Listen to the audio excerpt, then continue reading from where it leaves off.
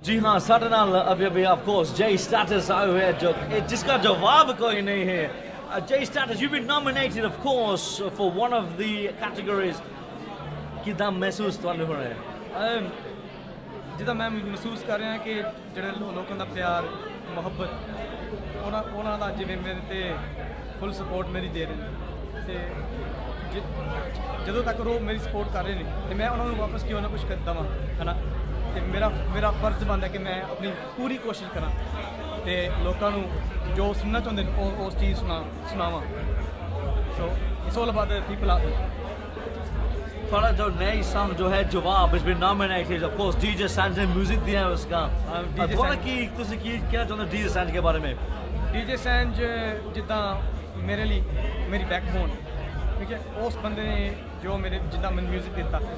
ਉਹਦੀ ਉਹਦੀ ਪਹਿਚਾਣ ਦੇ ਨਾਲ ਮੇਰੀ ਪਹਿਚਾਣ ਬਣੀ। ਸੋ ਮੈਂ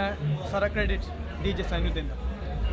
ਐਂਡ ਫਾਈਨਲੀ ਪੰਜ ਇੱਕ ਲਾਈਨ ਸੁਣਾ ਦੇ ਤੁਹਾਡੇ ਗੀਤ ਜਵਾਬ ਦਾ and then of course the voice ਏਜਨੂ ਤੇਰਾ ਨਹੀਂ ਉਹ ਜੱਗ ਤੇ ਜਵਾਬ ਨਹੀਂ ਪੰਜਾਬਣੇ। ਤੇਰਾ ਨਹੀਂ ਉਹ ਜੱਗ ਤੇ ਜਵਾਬ ਨਹੀਂ ਪੰਜਾਬਣੇ।